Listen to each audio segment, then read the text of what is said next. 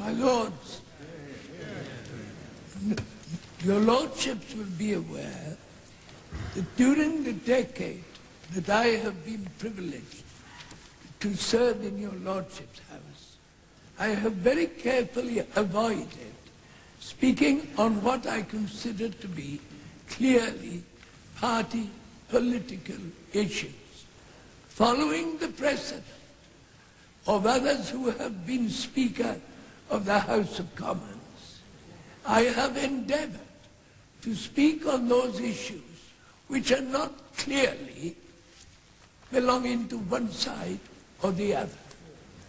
I believe that the destiny of the British people is bigger than any party and that this House has a, an equal responsibility with the other House to give careful consideration to what is at stake.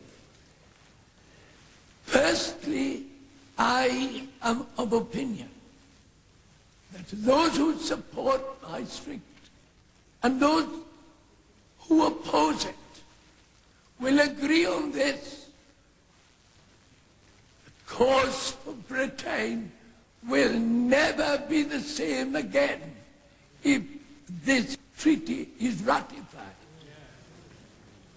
No good, uh, noble lords, I'm speaking with such enthusiasm, the noble Lord Richard, the noble Lord Jenkins of Hill Head, both, of course, have much more experience of Europe than I have, because they both were part of the bureaucracy of Europe and of the institution there.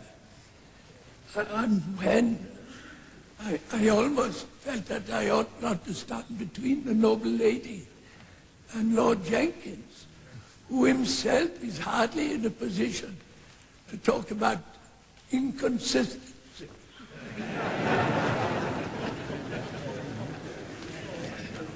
and, I hope he understands what I mean.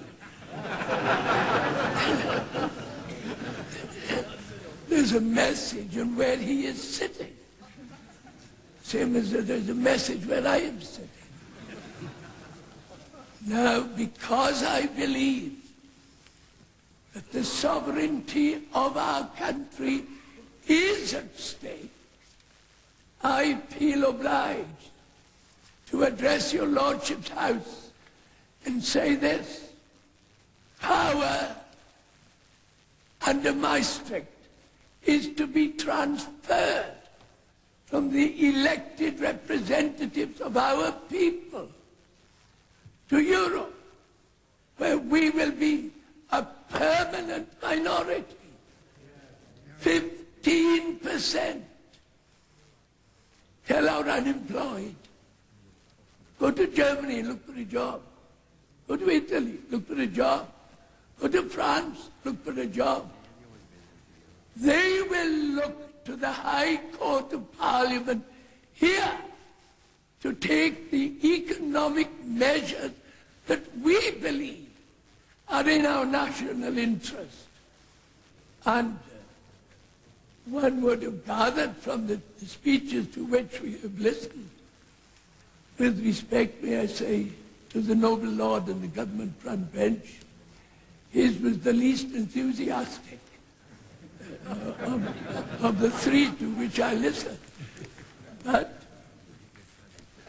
since we uh, joined the community, we have had a net trading deficit of no less than 81 billion pounds, to which might be added a net deficit in our community contributions of over 13 billion pounds, making all told a deficit for this country with the community since we joined of the best part of 95 billion pounds. And it's interesting to note 70% of the world's trade is still conducted between English-speaking countries. The uh, noble Lord Jenkins of Hillhead scolded the noble lady who is followed me in this debate for quoting Clem Attlee. May I quote Winston Churchill? 1953. Many a time that great leader of our nation was prophetic before the war and during the war. I served on the opposite benches to him for 15 years in another place. But in 1953, he said, we are with Europe, but not of it. We are linked, but not compromised. We are associated, but not absorbed. We should, should European statesmen address us and say, shall we speak for thee? We would reply, nay, sir, for we dwell among our own people. The long, proud history of the House of Commons and of your Lordship's house is something very precious. The dignity of our nation is wrapped up in the history of our people. And therefore, who should decide? Scorn poured on a referendum. Yet, the noble Lord Callaghan will know, we had a referendum over the piffling issue of that non-legislative assembly in Wales. We had, and it was thought essential. Parliament couldn't decide. The government decided. The people must decide because the Constitution was affected. And we all know that the Constitution is very much affected today.